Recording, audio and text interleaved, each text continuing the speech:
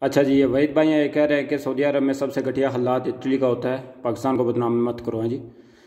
سر، پاکستان کو بدنام کرنے کا کوئی شوق نہیں ہے۔ میں خود پاکستانی ہوں، اپنے ملک کا نام جہاں پہ ایسا بدنام ہوتا ہے تو ہمیں دکھ ہوتا ہے، ٹھیک ہے۔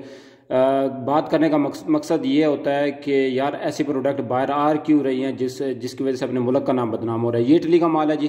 آپ کے سامنے میں اوپننگ کر رہا ہوں، دیکھیے یہ کیسی چیز ہے، ٹھیک ہے۔ یہ دیکھیں۔ اس کی پہلے پہلے بات تو اس کا ڈبہ دیکھ لیں ڈبہ دیکھ کے بندے کو پتہ چل جاتا ہے کہ یہ کوئی اچھی چیز ہوگی۔ ٹھیک ہے، اس کی اوپننگ کرتے ہیں۔ ٹھیک ہے، یہ اندر سے اندر سے چیک چیک کریں۔ ٹھیک ہے، یہ چیز چیک کریں۔ اس کی پیکنگ چیک کریں۔ ٹھیک ہے، یہ یہ چیز کے اوپر دیکھیں۔ یہ میں نے کھول کے رکھا ہوا تاکہ ویڈیو زیادہ لمبی نہ ہو، یہ آپ چیک کر لیں۔ اس کی فنشنگ دیکھیں۔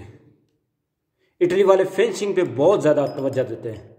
ٹھیک ہے بڑی زبردست قسم کی ان کی فنشنگ ہوتی ہے اور جو مال لگاتے ہیں اس کے اندر اوریجنل جو ہوتا ہے، پتل ہوتا ہے، نحاس ہوتا ہے، زبردست قسم کی کوالٹی ہوتی ہے۔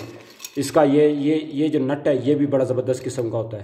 ٹھیک ہے، یہ زیادہ کسنے پہ یعنی ٹوٹتا بھی نہیں ہے۔ اچھی اچھی چیز ہے یہ۔ اور یہ اس میں دیا گیا ہے۔ ٹھیک ہے۔ اچھی چیز بناتے ہیں اٹلی والے۔ اور پاکستان سے بھی گزارش ہے۔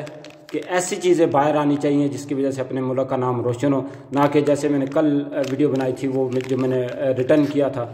اس کی وجہ سے یار اپنے ملک کا نام بدنام ہوگا، کیا فائدہ؟ اب میں پاکستانی ہو کے کل میں نے وہ آٹھ خلات واپس کروائے ہیں اور آج یہ سارے منگائے ہیں۔ یہ سارے آج میں نے منگائے ہیں۔